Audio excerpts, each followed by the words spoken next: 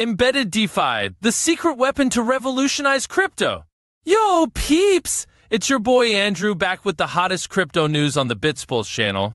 Today we're diving into the wild and wacky world of Web3, the new kid on the blockchain block. These tech whizzes have set their sights on revolutionizing payments and commerce.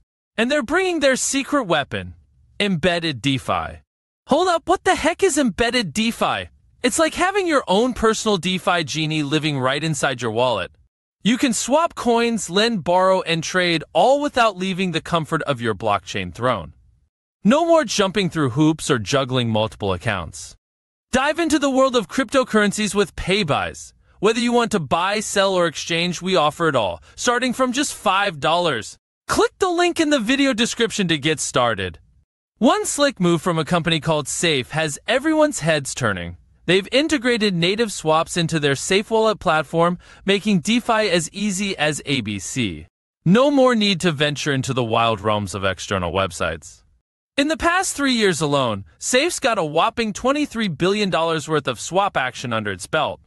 And get this, their company founder, Lukas Schor, is calling it a game changer that'll make user experience reign supreme. But wait, there's more! This embedded finance movement is spreading like wildfire in the fintech world. Traditional apps and platforms are now cozying up with DeFi, streamlining everything from lending to trading, making it all nice and affordable. And here's where DeFi really shines. It's like a financial superhero, slashing transaction fees and speeding up settlements. No more waiting days for your money to show up. It's like instant gratification for your blockchain needs. But hold your horses, my friends. Embedded DeFi is not without its quirks. Regulators are scratching their heads, trying to figure out how to handle this new kid on the block. Security risks are lurking in the shadows, and users need a good dose of education before they can fully embrace this DeFi wonderland. Pimtees, that's us, has been keeping an eagle eye on this DeFi scene.